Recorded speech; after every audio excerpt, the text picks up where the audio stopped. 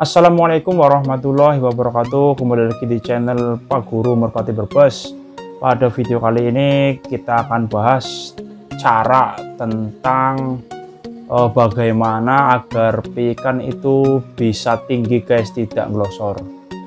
Sebelum mulai videonya jangan lupa untuk like dan subscribe.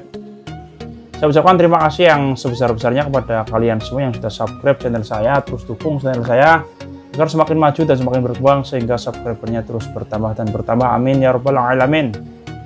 Sebelumnya saya ucapkan selamat hari raya idul adha guys. Buat kalian yang merayakannya uh, sudah nyate apa belum nih guys kalian? Kalau saya pribadi uh, tidak suka atau tidak doyan guys. Jadi ya tidak nyate. Uh, selamatlah buat kalian yang memang uh, doyan daging kambing daging sapi ya dinikmati guys karena saya sebenarnya dari dalam hati pengen sekali doyan sama sate kambing ataupun uh, semacamnya guys. Tapi ya apa daya memang di keluarga uh, saya itu tidak ada yang doyan uh, yang berbau kambing ataupun sapi guys. Sehingga ya tetap disyukuri guys. Ya apa pun yang terjadi tetap disyukuri. Yang penting uh, kita bisa uh, memperingati ataupun merayakan Idul Adha bareng dengan keluarga itu sudah sesuatu yang sangat nikmat sekali guys.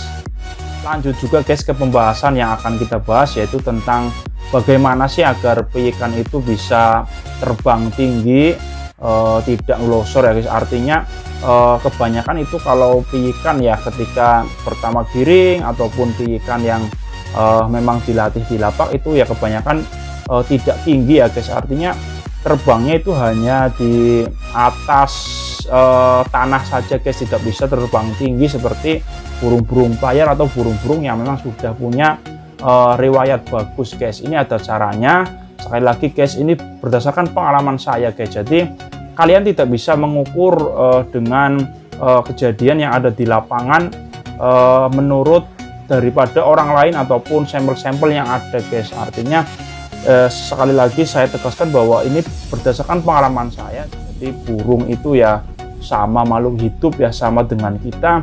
Jadi yang pernah saya katakan bahwa eh, kalian harus tahu posisi burung keadaan burung ya. Jangan burungnya harus mengerti kalian. Contoh ketika eh, kalian melatih biikan eh, itu dipatok dua kemudian pengennya tuh kalian biar bisa patok tiga, patok empat, kemudian finish, kemudian bisa lomba ya. Uh, tanpa kalian melihat bahwa uh, burung tersebut sebenarnya belum siap. Maka dari itu ya kalian harus tahu posisi burung, kondisi burung dan lain sebagainya guys ya. Ini berdasarkan pengalaman saya guys ada sebuah tips ya agar ikan kalian itu ketika dilatih bisa tinggi guys ya jadi bisa uh, cepat ngolong. Yang pertama itu perlu diperhatikan guys uh, ketika ikan baru giring itu porsi terbangnya hanya sekitar 10 sampai 20 meter saja lah. Terus terus ya. Jadi harus sabar ya. Kesimpulannya harus sabar. Kalian harus uh, telaten ya bahasanya telaten. Itu walaupun pendek itu diteruskan guys. Sampai terus misalnya satu giringan ya. Kalian satu giringan terbang sampai patok satu patok dua itu terus pendek di atas tanah. Biarkan saja guys. Artinya kalian jangan pesimis terus biarkan sampai giringannya habis. Setelah giringan pertama kalian contoh sudah dipatok dua guys tapi burung masih mendasar ya masih di atas tanah itu biarkan saja. Dan untuk giringan yang selanjutnya giringan yang kedua kalian latih porsinya sama guys ya. Jadi eh, depan kalangan di lob lagi patok satu patok dua terus ya. Mungkin bisa kalau toh bisa patok tiga patok tiga walaupun memang masih mendasar ya masih di atas tanah itu biarkan saja. Mungkin di dua giringan ini kalian biarkan burung piyik kalian itu uh, mendasar nggak apa-apa guys sampai dua giringan ya. Jadi ketika sudah satu giringan mendasar kemudian nge bertelur ya kemudian mengeram terus giringan kedua cabut telur kalian latih seperti persis yang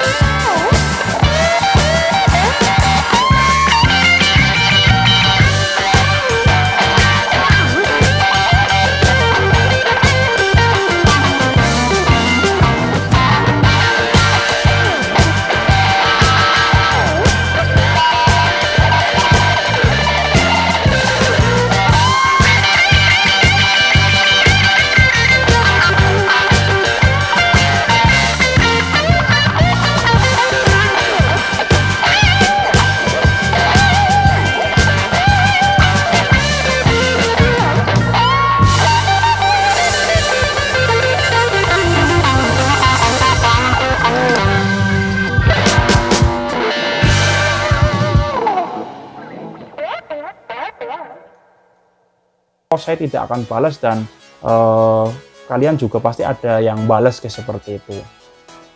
Uh, sebelum saya tutup guys saya ucapkan terima kasih buat kalian yang sudah mendukung channel saya. Terutama kemarin alhamdulillah uh, tim kami berhasil meraih juara tiga di lomba BOP di Lepak Lindri Brexit guys. Nah, itu saja video dari saya guys. Orang lebihnya mohon maaf. Sekali lagi jangan lupa untuk bantu subscribe channel saya dukung terus channel saya. Kurang lebihnya mohon maaf. Saya Eri. Wassalamualaikum warahmatullahi wabarakatuh